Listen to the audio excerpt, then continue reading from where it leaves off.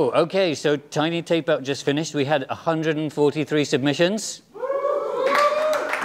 with 2.6 meters of wire and 86,000 standard cells, 30 countries, but we've only half filled it, so there's room to grow. We are using the version 4 MUX, which has been done by TNT Sylvain Munaut, and that has reduced the round trip latency to about 20 nanoseconds.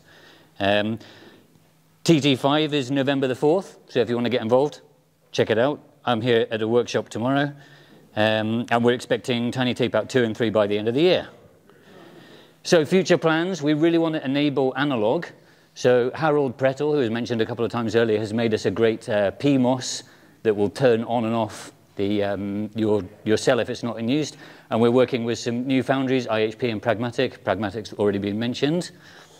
Um, so yeah, I think that's about it for Tiny Tape. We've had 600 projects submitted so far, which is twice what has been submitted to the Google MPWs. So that's not bad.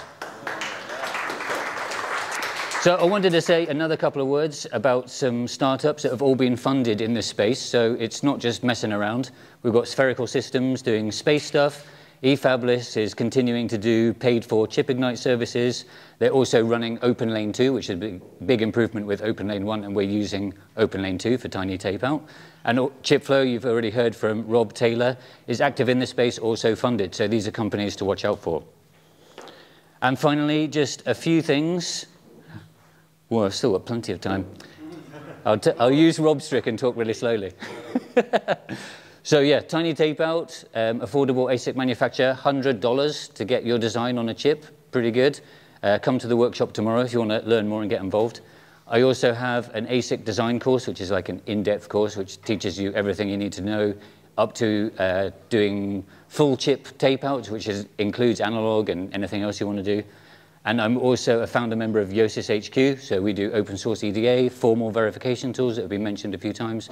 So if you're in the interest of any of those things, then come and talk to me later tonight. That's a wrap.